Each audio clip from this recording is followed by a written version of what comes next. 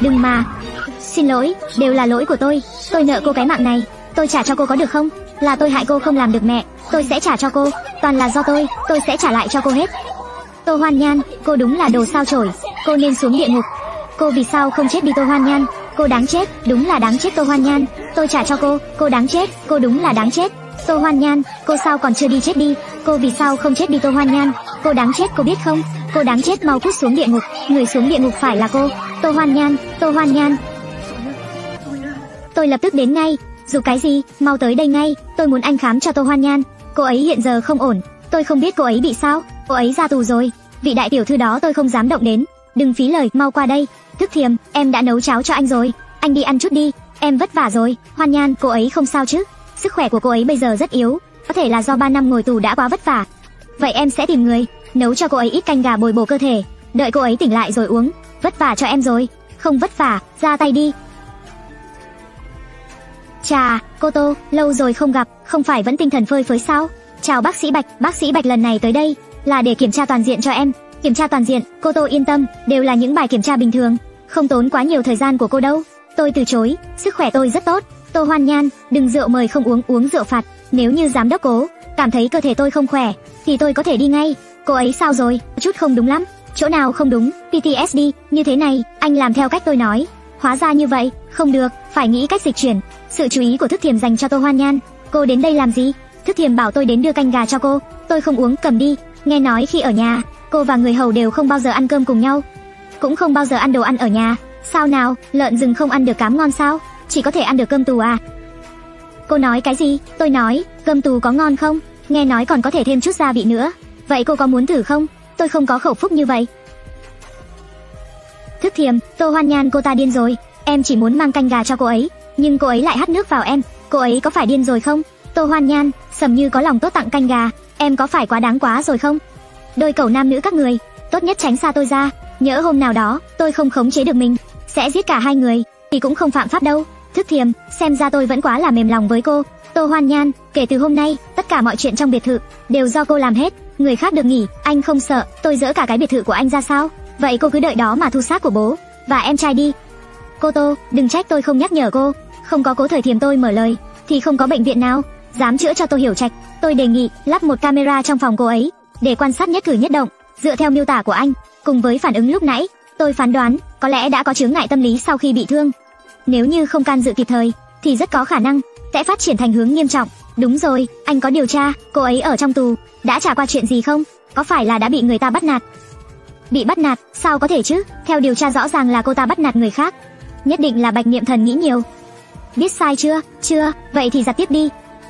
Tô Hoan Nhan, tôi đói rồi, chuẩn bị đồ ăn sáng đi. Tô Hoan Nhan, cô xuống nước nhận lỗi thì sẽ chết sao? Như vậy đến lúc chết, thì ai quan tâm, giám đốc cố, bữa sáng sắp xong rồi, ngài ngồi xuống đi. Cô rốt cuộc là sao? Cô có thể quay lại bình thường không? Giám đốc cố, anh nếu như không ăn sáng, thì tôi đi làm chuyện khác. Cô đừng giả vờ nữa, tôi đã điều tra rồi, cô ở trong ngục, vốn không bị bắt nạt hay gì. Cô cười cái gì? Tôi cười anh đó, giám đốc cố, tôi vốn đã đủ thảm rồi. Không ngờ, anh còn thảm hơn tôi. Bên cạnh đến một người thành thật, cũng không có nổi. Alo, cái đồ sao chổi nhà cô, sao không bắt máy? Em trai cô đột nhiên nguy kịch, lẽ nào là cố thức thiềm? Con đến ngay, Tô Hoan Nhan, xảy ra chuyện gì rồi? Cố thức thiềm, nếu như em trai tôi gặp chuyện, tôi có làm quỷ cũng không tha cho anh. Hiểu trạch, hiểu trạch hiểu trạch, cái đồ sao chổi, có chút chuyện nhỏ này cũng làm không xong, tôi còn cần cô làm gì? Sao lại thế này? Cố thức thiềm, cái tên khốn nạn, năm xưa tôi đúng là bị mù, nên mới đồng ý gả Tô Hoan Nhan cho cậu.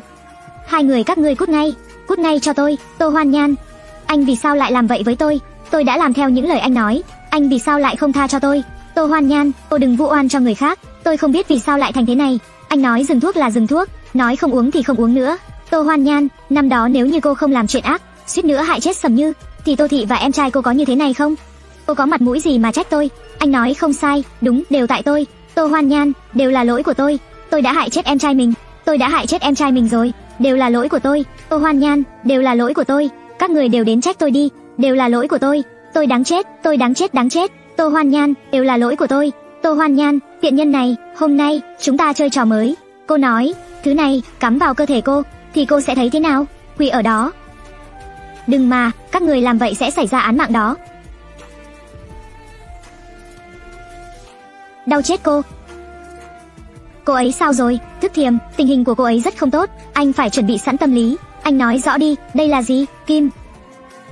173 cây, vào các vị trí khác nhau khắp tứ chi, có thể lấy ra, tôi đều đã lấy ra hết rồi. Còn một cây, cách tim cô ấy rất gần, rất là nguy hiểm, nên tôi chưa dám làm. Những cây kim này trong cơ thể cô, mỗi lần cử động đều rất đau đớn. Anh đừng nói, những hành động như lôi kéo, cho dù là chỉ cử động nhẹ, thì cũng đau đến thấu xương. Sao lại như vậy? Lẽ nào những thứ điều tra được đều là giả? Cố Thức Thiềm, tôi không biết rốt cuộc là ai làm anh lung lay, nhưng tôi hy vọng hai người có thể ngồi xuống trò chuyện. Cô tỉnh rồi, uống chút nước đã. Hoan Nhan, chúng ta nói chuyện đi. Em trai tôi, sao rồi? Cha của cô đã lo xong hậu sự rồi. Không được, còn chưa được xử lý hậu sự. Hoan Nhan, em trai cô đã qua đời rồi. Cô chấp nhận hiện thực đi. Cô làm gì vậy? Cút ra, cô đến đây làm gì? Ba, chuyện hậu sự của Hiểu Trạch quan trọng hơn. Bệnh tình của em ấy luôn ổn định, vì sao đột nhiên lại phát bệnh? Cô nói gì? Khám nghiệm thi thể, chúng ta khám nghiệm thi thể Hiểu Trạch, xem em ấy rốt cuộc vì sao lại mất. Vớ vẩn, cô muốn thằng bé chết mà vẫn không được yên sao? Ba, ba không nghi ngờ sao? Có vấn đề ở đây sao? Còn nữa, ngày xảy ra chuyện, chúng ta có phải là từng gặp một người hoặc một chuyện lạ không? Hôm đó, quả thực là có một bác sĩ lạ mặt đến để truyền dịch cho Hiểu Trạch. Anh ta trông thế nào? Đeo khẩu trang, nhìn không rõ. Có điều, bác sĩ đó vạm vỡ hơn người bình thường. Quả nhiên có vấn đề. Camera bệnh viện sẽ có camera, con sẽ đi kiểm tra. Đi, là anh ta sao? Đúng, anh bảo vệ, anh ta là người ở bệnh viện sao? Nhìn trông không quen, lập tức báo cảnh sát. Cảnh sát đã nhúng tay vào rồi. Dừng tay đi, biết rồi, hợp tác vui vẻ. Tô Hoan Nhan, tôi muốn để cô gia đình tan tác, không nơi nương tựa, hóa ra đều là cô âm mưu. Người kia là ai, anh đã nghe thấy rồi. Thế nên, vụ tai nạn của cô Tô năm đó cũng là do cô sắp xếp. Lý Nam, anh vừa nãy nghe được gì rồi? Anh đừng có hiểu lầm tôi. Sầm Như, cô biến thành dáng vẻ này từ bao giờ? Bởi vì tôi không cam tâm, chúng tôi từ 3 tuổi đã lớn lên cùng nhau.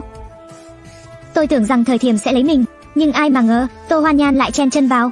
Trong ba người chúng tôi, Tô Hoan Nhan cô ta lợi dụng uy quyền của Tô đại tiểu thư để ép thời thiềm ở bên cô ấy. Tôi không cam tâm, Sầm Như, cô nói thật, cô và Cố Thời Thiềm ở bên nhau, thực sự là vì cô yêu anh ấy không? Thật, vì sao lại không thật? Vì sao tôi xuất thân tầm thường thì tôi không có được tình yêu của thời thức? Tô Hoan Nhan cô ta đã mất cái mắt tiểu thư thì còn không bằng con phượng hoàng gặp nạn, tôi vì sao lại phải thấp kém hơn cô ta một bậc? Cô đúng là hết thuốc chữa. Lý Nam, anh chịu cam tâm làm trợ lý cho anh ấy cả đời không? Tôi tự biết bản thân, anh sẽ đi nói cho thời thiềm đúng không? Anh không được đi, đã xảy ra án mạng rồi, tôi không thể tiếp tục đứng nhìn, anh hôm nay mà đi thì tôi sẽ chết. Lý Nam, nể mặt chúng ta từ nhỏ, đã lớn lên cùng nhau, anh hãy giúp tôi, tôi cũng lớn lên với thời thiềm. Lý Nam, anh thích tôi đúng không? Tôi cầu xin anh, cô đừng như vậy, giúp tôi đi, sầm như, sầm như, sầm như. Lý Nam, chúng ta bây giờ đã trên cùng một con thuyền rồi. Họ quay lại rồi. Giám đốc cố, cái chết của em trai tôi, không có liên quan gì đến anh, phải không? Không hề, Lý Nam, lần trước bảo anh đi điều tra tài liệu của Tô Hoan Nhan. Không có vấn đề chứ? Giám đốc cố sao lại hỏi vậy? Không sao tiện thì hỏi thôi, không có vấn đề gì. Vậy hôm đó sau khi hoàn thành tài liệu, thì có ai đã vào văn phòng ở tập đoàn Cố Thị không? Không có, nhờ anh đi làm một việc. Đây là máy tính em trai con dùng lúc còn sống, cầm đi đi. Hiểu Trạch đang điều tra thời thiềm, nội dung điều tra cuối cùng chính là những thủ đoạn không sạch mà thời thiềm làm với nhà họ Tô năm đó. Thằng bé muốn giành lại Tô Thị, xem ra Hiểu Trạch cũng cảm thấy vụ tai nạn năm đó có vấn đề, năm đó Giang Sầm Như có thể vạch ra kế hoạch tai nạn xe, sau đó có thể thoát thân, sau lưng không thể không có người chống lưng, nhưng có tra thế nào thì cũng không tìm ra người thần bí sau lưng cô ta là ai. Sao lại có người có thể tìm được thông tin của thời thiềm? Trợ lý làm có chuyện gì vậy? Cô Tô, giám đốc cố gọi cô đi nhận mặt mấy người. Mấy người, Hoan Nhan, họ có phải là người bắt nạt cô trong ngục năm đó? Lâu rồi không gặp. Hai vị, tiện nhân, thế mà đã biết cách ăn trộm. Tôi cho cô ăn đủ, cho cô ăn này, sau này đều phải ăn thế này. Chỉ ăn bánh bao chay sao được, phải uống thêm nước, uống.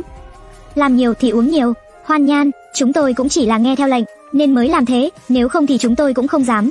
Đúng, Hoan Nhan, chúng tôi là có nỗi khổ, cô tha cho chúng tôi đi, tùy cô xử lý, tôi chỉ hỏi họ một câu, các người đã nghe theo, mệnh lệnh của ai mà đối xử như vậy với tôi, là một anh chàng, anh ta cho tôi một khoản tiền lớn, nói, phải chăm sóc tử tế cô. Tô, cho dù, cho dù gì, cho dù, cho dù có gây ra án mạng, anh ta cũng lo cho chúng tôi. Không đúng, hôm đó tôi rõ ràng đã nghe thấy là cô Giang, làm gì có anh chàng nào, cô ta trước kia sao mà có thể đắc tội với người nào đó, họ đang nói dối, nói láo, các người hôm đó rõ ràng không nói thế này, chúng tôi thực sự không nói láo, là một người đàn ông, vậy người đàn ông đó trông như thế nào, chúng tôi chưa gặp, là nói qua điện thoại, như thế này đi, các người tự tát nhau 500 cái, sau đó vĩnh viễn cút khỏi tầm mắt tôi, cả đời này đều không được xuất hiện trước mắt tôi. Sao nào, đây không phải là cách mà các người làm với tôi và Tiểu Thành sao? Đến lượt các người sao lại không dám nữa, có cần phải giúp không? Dùng sức lên, nhanh, Tiểu Thành, hôm nay tôi đã đòi lại chút công bằng cho chúng ta. Cô yên tâm, đây mới chỉ là bắt đầu thôi. Hoan Nhan, tôi mang sữa lên cho cô, uống xong rồi hãng ngủ. Ra ngoài, Cố Thời Thiềm mời anh ra ngoài. Hoan Nhan, cô hiện giờ cần tôi, đừng từ chối sự quan tâm của tôi có được không? Ra ngoài, tôi không muốn anh nhìn thấy dáng vẻ hiện tại. Mời anh ra ngoài, cô đừng sợ, tôi ở cạnh cô. Hoan Nhan, giấc ngủ này, ngủ đến mức vẹo cả cổ, ai bảo anh muốn ở cạnh tôi? Sữa nguội rồi, tôi đi làm nóng lại cho cô. Không cần nữa, tôi không uống cái đó. Bạch Niệm Thần nói, cô thiếu dinh dưỡng nghiêm trọng, ngày nào cũng phải uống sữa bò. Tôi không sao, Hoan Nhan, tôi thấy cô sau khi quay về thì chưa bao giờ ăn cơm cùng mọi người. Cô vì sao? Khi tôi còn ở trong ngục, những thứ ăn đều có thêm nước miếng với đất, còn bị nhét thêm mấy thứ kinh tởm. Từ đó về sau, trừ bánh sạch và nước ra, những cái khác tôi không ăn được. Họ đối xử như vậy với cô, họ chỉ là đám chó cắn người. Giang Sầm Như mới là người thả chó. Cố Thời Thiềm cho dù có biết là Giang Sầm Như, sợ rằng cũng sẽ dập tắt chuyện này.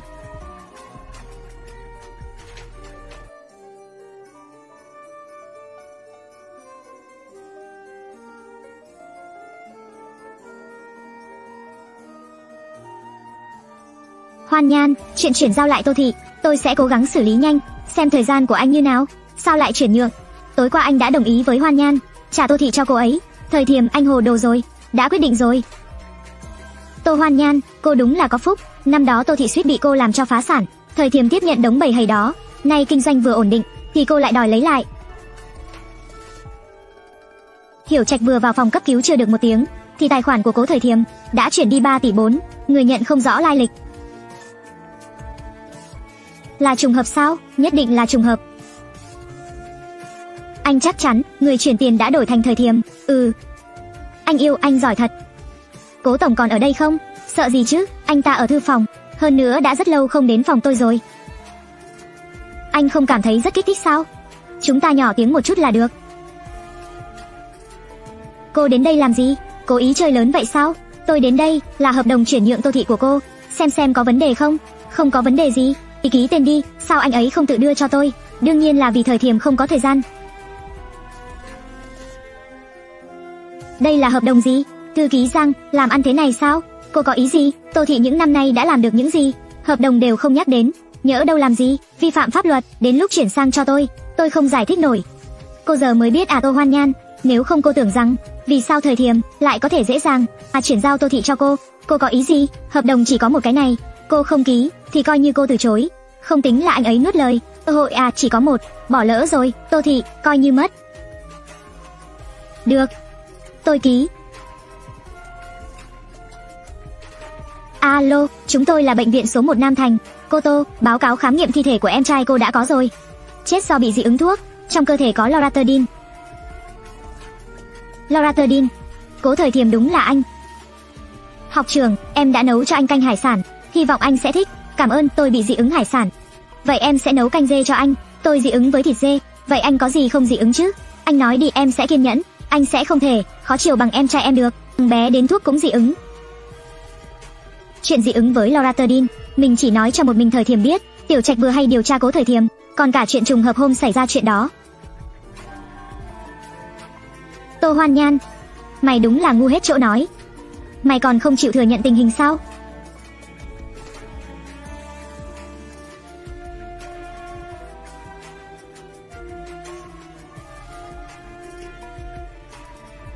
Thuốc này năm sau ngừng sản xuất rồi, thì thuốc có tác dụng tương tự, nhưng tác dụng phụ thì rất lớn. Nếu như thường dùng thuốc, thì có thể sẽ gây ra rối loạn thần kinh. Cô chỉ được uống một viên khi người không khỏe thôi, ngàn vạn lần không được uống nhiều, nghe rõ chưa? Nếu như tôi đã bỏ được từ địa ngục ra, thì đến lượt các người phải đi rồi. Đây đều là cô làm sao? Đúng, rất cảm ơn sự chu đáo của giám đốc cố tối qua. Sau này bữa sáng trong nhà đều do tôi nấu. Sao cô lại? Sao nào, giám đốc cố? Chê tôi làm không ngon sao? Không có, không có, đây là gì? Canh gà nhân sâm. Thử xem. Khá ngon. Chỉ là có hơi đắng, có lẽ là do cho thêm thuốc đông y. Lát nữa, chúng ta đi đến công ty, mang hết những hạng mục của Tô Thị mấy năm nay, chuyển cho cô, sau đó thì tìm cho cô một trợ lý. Tô Hiểu Nhu, cô ấy còn ở Tô Thị không? Gọi cô ấy đến, Tô Hiểu Nhu, cô ấy đang ở công ty, chỉ là một trợ lý cấp thấp nhất, không giúp được gì cho cô, tôi chỉ cần cô ấy, Giám đốc Tô, lâu rồi không gặp, Hiểu Nhu, em có phải vẫn giận chị đúng không? Tôi nào dám, khi đó nhờ công của giám đốc Tô, đã làm sập cả Tô thị, hại cho nhà họ Tô tan nát, tất cả mọi người đều phải lang bạt, tôi kính phục năng lực của giám đốc Tô, còn không hết, xin lỗi, Không cần đâu, Tô Tổng, tôi hiện giờ chỉ là một trợ lý làm công ăn lương quèn. Kế hoạch lớn của cô, không có chút liên quan gì đến tôi. Cô cho tôi một con đường sống đi. Hiểu Nhu, em trước kia làm trợ lý cho ba chị, đều có thể sắp xếp mọi việc, cực kỳ cẩn thận, chị đều nhìn thấy hết. Lần này, xin em giúp chị được không? Cô, chị biết, em có năng lực xuất sắc, một bằng 10 người, lần này. Xin em hãy giúp chị, tôi sẽ không giúp cô. Tô Hoan Nhan, năm đó tôi bảo cô đi theo Cố Thời Thiềm, phải giữ khoảng cách, ở cạnh anh ta lúc nào cũng nguy hiểm, đừng có đâm đầu vào. Còn cô, cứ nhất định không nghe, kết quả thì sao? Chị biết lỗi sai rồi. Chị biết mình sai rồi. Chị muốn đặt lại tất cả Tô Thị. Xin em hãy giúp chị. Tôi thấy anh ban ngày, tinh thần không được tốt lắm, nên đã chuẩn bị đồ ăn đêm cho anh nếm thử đi. Sao cô tự nhiên lại trở nên hiểu chuyện vậy? Anh không uống thì tôi cầm đi. Để đây đi.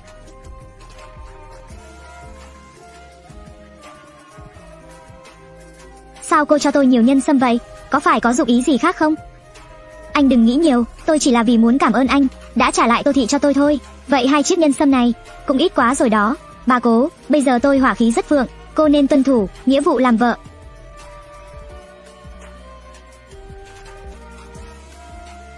Alo, Hoan Nhan, tôi đã làm theo yêu cầu của cô, dùng danh nghĩa công ty để sắp xếp cho Lý Nam ra nước ngoài. Được, ừm.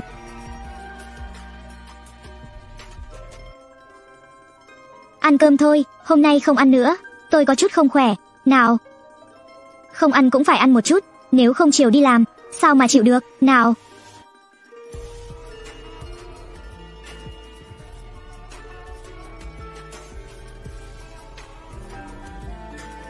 Anh sao thế? Có phải là do công việc quá mệt? Có cần nghỉ ngơi vài ngày? Tôi không sao. Không, giám đốc cố có sao? Cái gì? Giám đốc cố vì lao lực quá độ, tinh thần căng thẳng bệnh mãi không khỏi. Hiện giờ tập đoàn cố thị cần người chủ trì đại cuộc, nên đã giao cho vợ giám đốc cố là Tô Hoan Nhan. Toàn quyền lãnh đạo, cô nói gì? Giám đốc cố, nên uống canh rồi, nên uống nhiều một chút. Canh này có vấn đề. Đúng vậy, tôi đã cho vào đủ 10 loại, nguyên liệu lương tâm, nào tôi đút cho anh. Há miệng, Lãng phí, có điều không sao, anh cũng không thiếu một bát canh này. Cố thời thiềm, anh cuối cùng cũng rơi vào tay tôi,